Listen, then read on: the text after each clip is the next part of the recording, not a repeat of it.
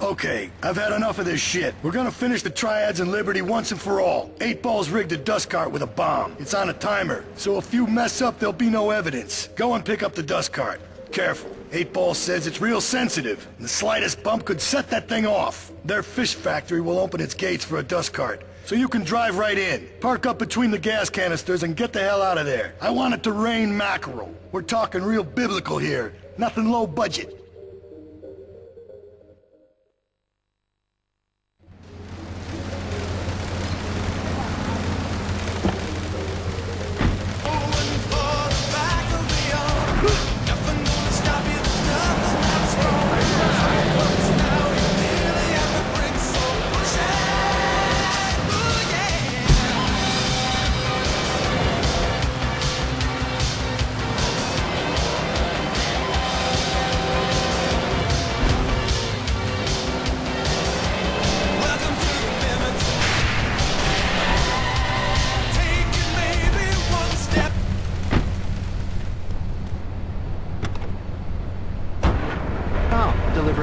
Bundles of love.